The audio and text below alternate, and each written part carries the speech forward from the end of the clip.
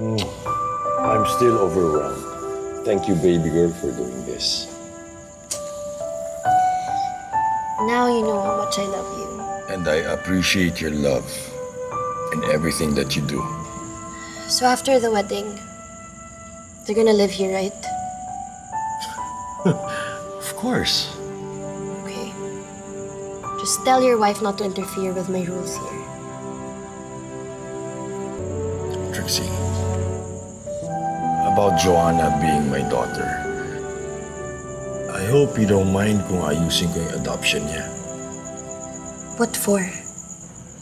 Well, para malagay sa ayos ang lahat.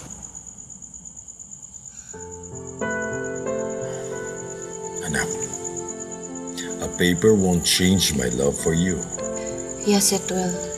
I promise it won't. You have to take my word for it.